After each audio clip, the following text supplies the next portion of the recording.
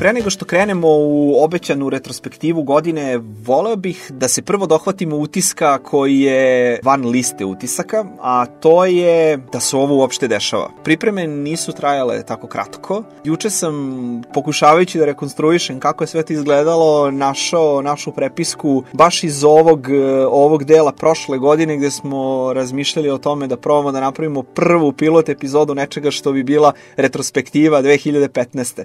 Tako da, bilo kako bilo, mislim da smo napravili lepu stvar što smo počeli ovo da radimo i što je Technopolis podcast sam po sebi tu je po mom mišljenju jedan veliki utisak van liste.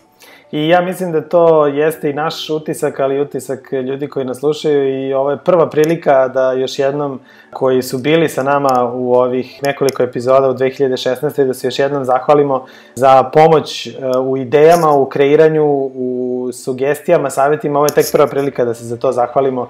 Biće ih svakako još, ali čini mi se da je i taj neki razvoj za početak jednog mikrodruštva koji sluša i koji analizira sa nama zajedno stanje u Tehnopolisu jeste jedan od utisaka 2016. godine. Da, da, jako važne povratne informacije, e, jedno veliko hvala i sa moje strane, e, lepo je čuti mišljenja i primetbe i sugestije i kritike, e, sve to bi trebalo da nam pomogne da Tehnopolis podcast bude još bolji, da sledeće epizode budu još zanimljivije i da probamo da nađemo najbolji način kojim ćemo se baviti temama koje mislimo da su zanimljive na obostrano zadovoljstvo.